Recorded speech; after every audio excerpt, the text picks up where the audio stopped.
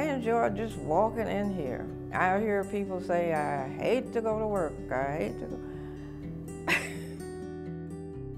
go. Louise Bethany, but we call her Wheezy. I met her when I first started here in 1979. She trained me. Didn't know anything about the elderly, taking care of the elderly. I've learned a lot.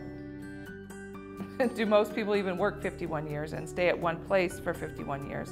And mind you, she's only called off, I believe, two times in 51 years. So to me, it's just an example of the, the type of staff that you want to have.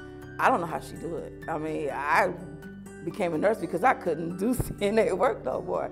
I'm like, what's the secret, Louise? You know, like, what do you do? I don't know what kind of genes she has. but she keeps on going.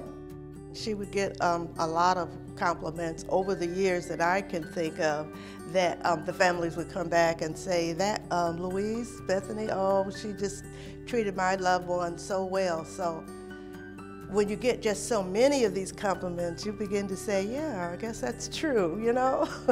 I can make them comfortable I can, uh, sometimes they're sad because they're here and they would rather be home and I, somehow I can comfort them. She's just very um, passionate and compassionate and I just can't say enough, enough good things. I mean, that's the type of person that we want in this field.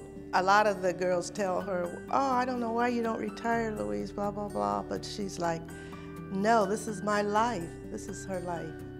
And um, it's a good thing. It was like my destiny. This is what I was meant to do.